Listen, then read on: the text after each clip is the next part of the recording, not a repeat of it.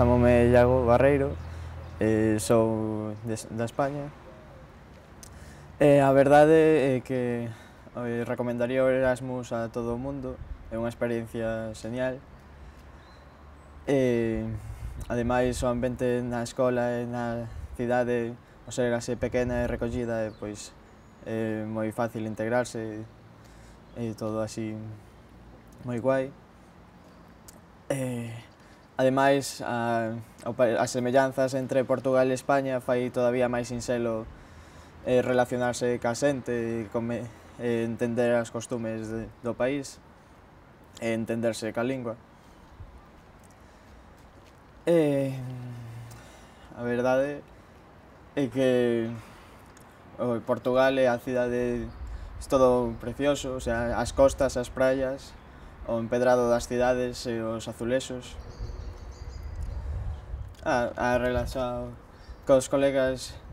Eh, o comezo quizáis na escola era un pouco difícil porque como xa están todos os grupos da amizade feitos pois en primeiro nos, no primeiro mes pois custaba un pouco máis mas despois pois van cos traballos te van integrando e todo é todo moi guai. E ademais faz o grupiño de, de amigos de, de colegas dos, dos Erasmus, cos outros Erasmus e acabas facendo todo, todas as excursións con eles e todo isto.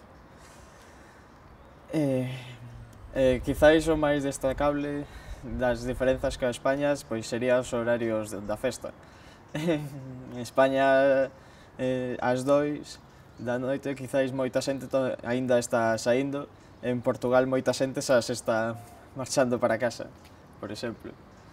Eh, a cantidade de bacallau que comen os portugueses tamén a eu a toda a xente que, que veña recomendaría bueno, en primeiro lugar que sepa inglés para que se xa máis sinxelo relacionarse cos colegas de outros países porque o meu inglés é un pouco malo e custábame.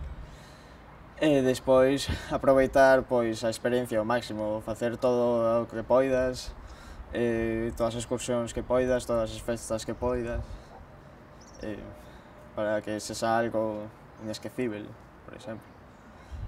Eh, tamén recomendaría Eu, por exemplo, estive na residencia. A verdade é que non é o mesmo. Eu, a xente que veña, diría que collese un piso eh, con outros Erasmus ou con xente de Portugal porque sería máis fácil tamén integrarse, fais máis colegas, eh, tamén para as festas non, nunha residencia non é posible ou se veñen xente a visitarte ou así, non é o mesmo.